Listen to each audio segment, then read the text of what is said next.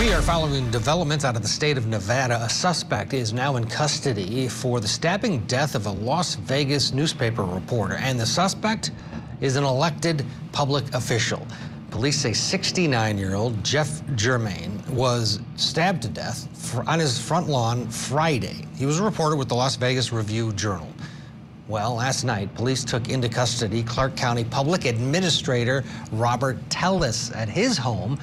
He's accused of killing German. The, the journalist conducted several investigations and, and, created several articles into Telles's work as a government official. He lost his primary election shortly after those articles were published. The su suspect is expected to appear in court this afternoon in Las Vegas. Reporter Sean Delancey with our affiliate KTNV has uh, more details on the case. Take a look. An overnight police raid of an elected official's home. Police sources saying public administrator Rob Telles is in the crosshairs of the homicide investigation of Veteran Review Journal journalist Jeff German. We have confidence in our investigators. They are they have been working tirelessly. Monday, police released this image of a maroon GMC related to the slaying, piquing the attention of RJ reporters like Arthur Kane. That looks like a vehicle just like in uh, Telles's driveway. Um, so that was really concerning and surprising. Telles had publicly criticized German on social media and on his campaign website. Please be sure to vote for me during his failed election. county administrator sure campaign, as German wrote several articles critical of Telles's job performance. A few years ago, when I started my first term, I found a disturbing situation at the office. Police wrapped up their initial investigation after noon, broke down their crime scene tape, and Telles returned home dressed in a full body jumper. Can you tell us anything? His homestay wouldn't last long. Hours later, police returned, knocking on his door without answer. Then SWAT got involved, the beginning of an hours long standoff, which ended here loaded into an ambulance and taken to UMC trauma to be treated for what police sources called non-life threatening injuries in custody for the slaying of a man coworkers described as dedicated to his craft. He basically was, you know, 100% hard-hitting reporter um, and um, this was the kind of work he was going to do. Uh, yeah, it is right out of uh, uh, Michael Connelly book or uh, a Hollywood movie. You know, a guy whacks a reporter for writing bad things about him. Investigators are planning on holding a news conference at 10 o'clock local time, 1 o'clock Eastern in Vegas, and we'll bring you details as we get them. He'll also likely make a court appearance at some point. So with us, criminal defense attorney and uh, former prosecutor Eric Faddis in Denver, and law professor at the University of Georgia, Melissa Redmond.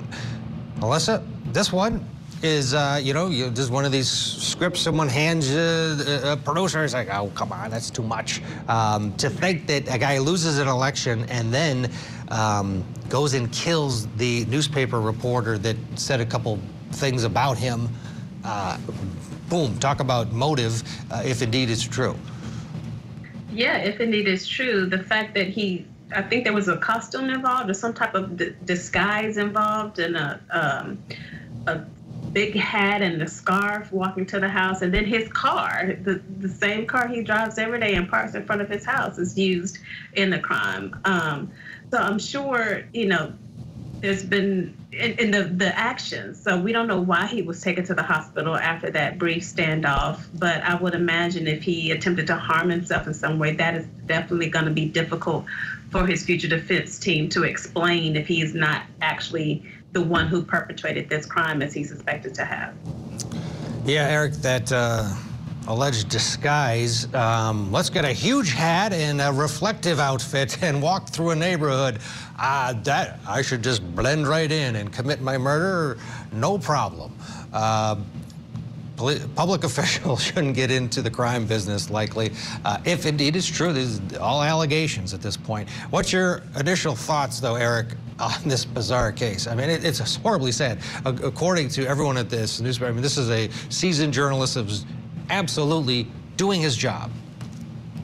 Yeah, you know, um, not the most discreet disguise for any murder assailant. Probably not uh, something that they should have opted for.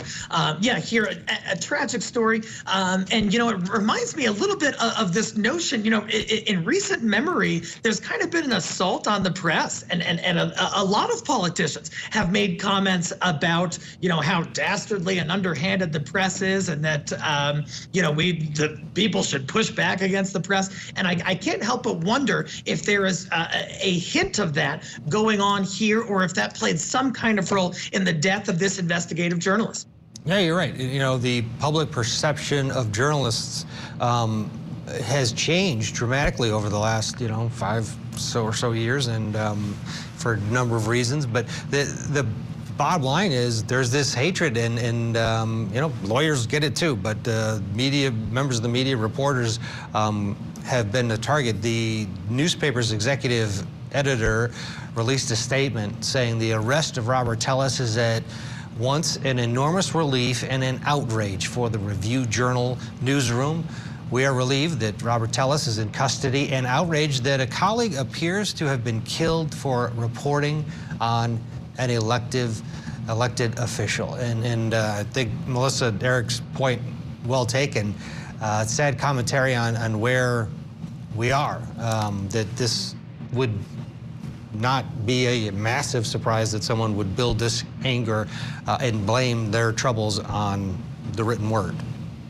Right. And, and and again, we're talking about another individual who's going about his life doing what he does every day and being killed for it. I mean, it is a sad commentary on the state of affairs of our country when you can't go about your normal life without being at risk of, of losing your life.